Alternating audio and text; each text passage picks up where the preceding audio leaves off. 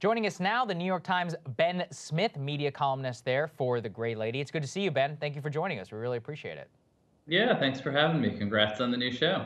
Appreciate Thank you. That's why we wanted to have you on. I actually remember one of my favorite columns, part of the thing that actually inspired this, was about the rise of new media. I think it was one of the second or third ones that you actually did there in the Times around about how people who are newly famous are famous to you, so to speak. Like we have new rise of internet celebrities, not necessarily generally known to the public, but very well known to a select group. And at the same time, so we have media outlets like ours, you also have the thriving, really, of your own paper. What do you think that the juxtaposition of those two tell us about the media story that we're in right now? Um, yeah, I mean, I guess as you described it, there are two big things going on. One is that, like, as in every, at least every digital industry, the biggest things are getting bigger. You know, Google and Facebook, and then on, you know, on a much smaller scale in the news business, the New York Times, Disney and Netflix. I mean, and it's you know, and what used to be a landscape in news of you know dozens and dozens of big metropolitan newspapers is now um, this you know is now increasingly just a couple of giant players, and then almost inevitably at the same time, lots of new small stuff is is springing up in the cracks in the sidewalk, and people there's a new sort of technical ability, which you are doing to reach mm-hmm. reach an audience directly and charge them. What is the assessment or analysis or feeling within those larger organizations? And what is the term of art you prefer? Elite media, legacy media, corporate media? You probably don't say corporate media, but what I, I would be interested to know your term of art for that space that we're talking about. What is the assessment and feeling there about the rise of people on Substack, platforms like ours, other institutions that are sort of coming from the grassroots up? Is there awareness of it? Is there nervousness about it? Is there condescension, contempt towards it? What you, what's your assessment there? Well, for, for, for my own purposes, I would say mostly contempt. yes, just speaking personally. Yeah, right. right. personally, yeah. No, um, I mean, honestly, these institu- these big institutions are doing really well. Like I don't think there's any sense at the Washington Post or the Times of sort of panic about Substack, right? I mean these are these institutions are really thriving using the same kind of digital subscription businesses.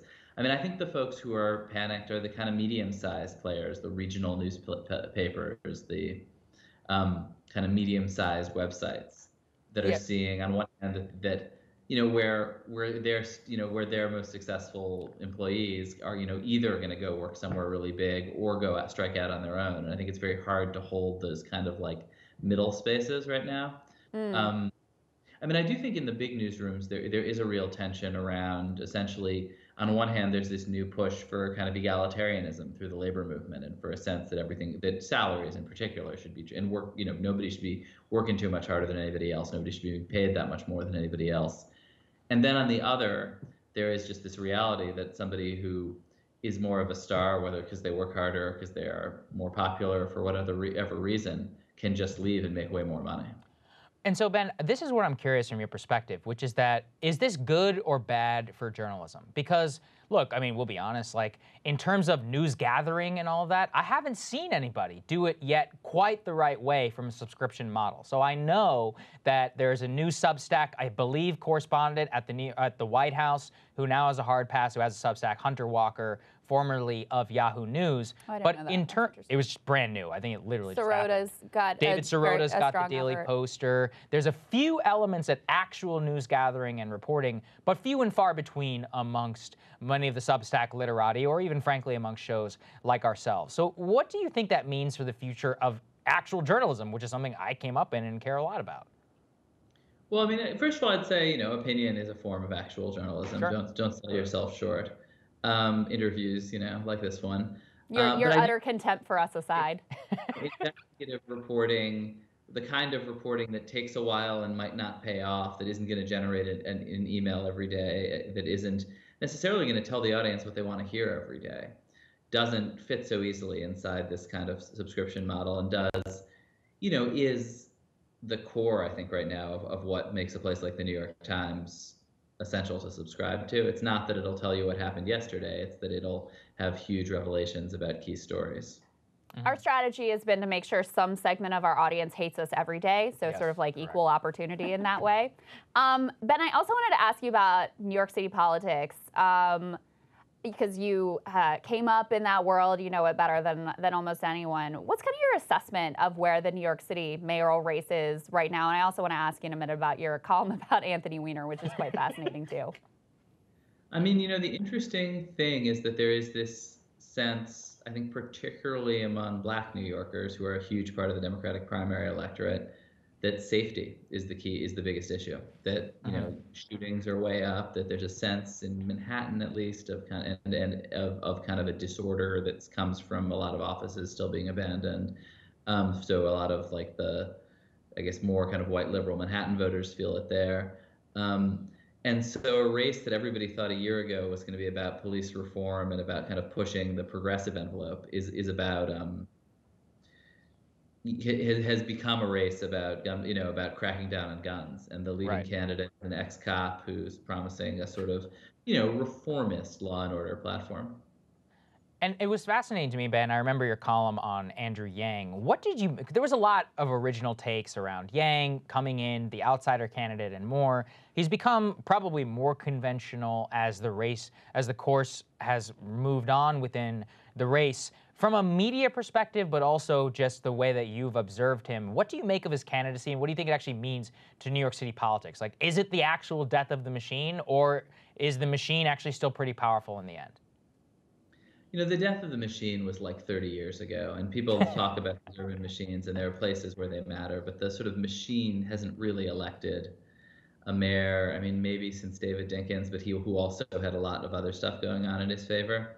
Um, and so so I think, yeah, I mean, you know, yeah, I mean, in some ways, you know, Rudy Giuliani and Mike Bloomberg have been mayor for most of the last 20 years, and so the last 30 years, and so the notion of kind of a charismatic outsider is is kind of more in keeping with um, the way New York is run than the notion of kind of a hacky Democrat.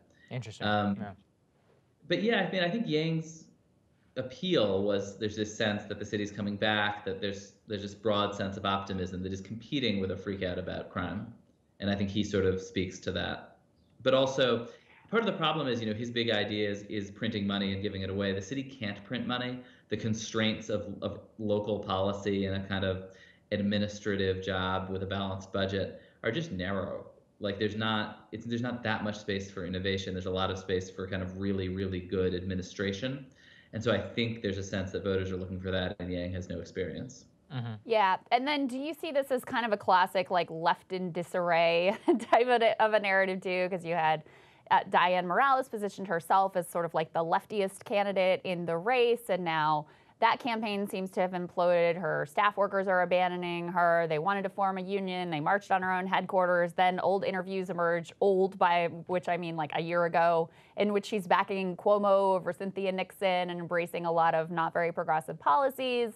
Um, Scott Stringer hit by uh, two different sexual harassment or sexual assault allegations, both of which I would say, you know, Nobody knows what happened there, but there are some holes, significant holes in the stories of, of, both of the women making these allegations. But that didn't stop the progressive movement from completely abandoning him. Now you have an attempt to coalesce around Maya Wiley, but it's so late in the game at this point, where if you had had one candidate who was like the clear choice of the left, do you think that they might have had a fighting shot at actually winning the mayoral race? Or are these safety concerns just too primary for that to have even worked out in this cycle? I think it's a good question. I mean, I think if, if AOC had run, you know, would would she be winning right now? I think mm. I don't know. I mean, I think Maya Wiley is a pretty strong candidate. There is this, you know, Dianne Morales' campaign collapsed just in the most spectacular fashion I've ever seen. Right? I mean, it was really just devoured itself. Um, and I think really not only did it, you know, destroy the this kind of that that corner of the left's chances in this race, but I think made the sort of whole New York political universe at least think, wow, these people can't, you know, you can't let them near your campaign, right? like this, this, sort of internal disarray that was just kind of spectacular to watch. Yeah. That's a good yeah, point. although I think a lot of those staffers, at least some of them, moved over to the Wiley campaign, which is interesting too. Um, you have a great and fascinating column up right now about Anthony Weiner. We can actually throw that tear sheet up on the screen.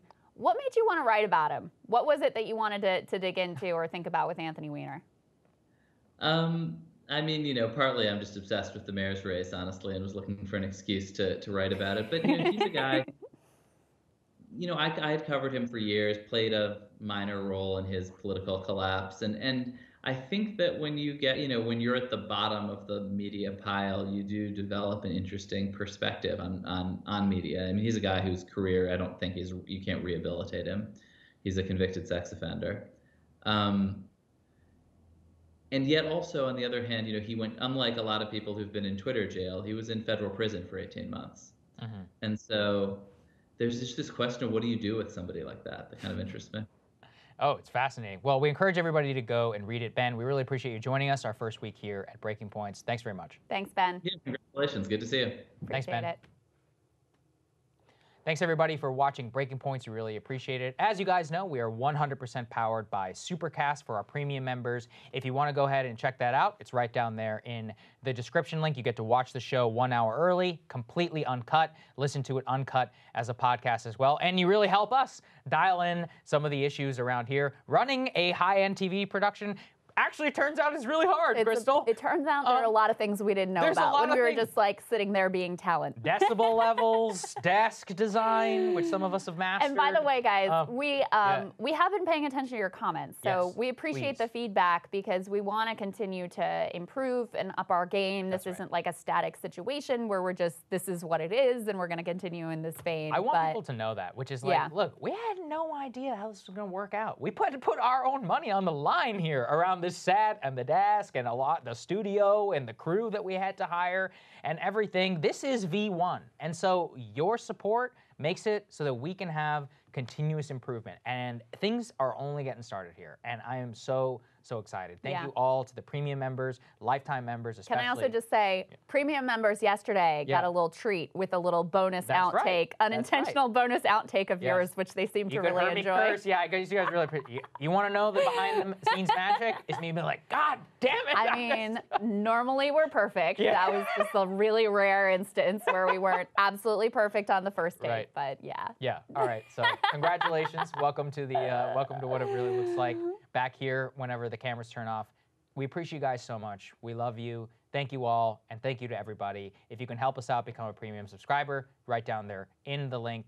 Thank you to Supercast and the DC Bar Studio for allowing us to produce this all here. Yep. We will see you all on Thursday. Yep. Thanks, guys. See you on Thursday.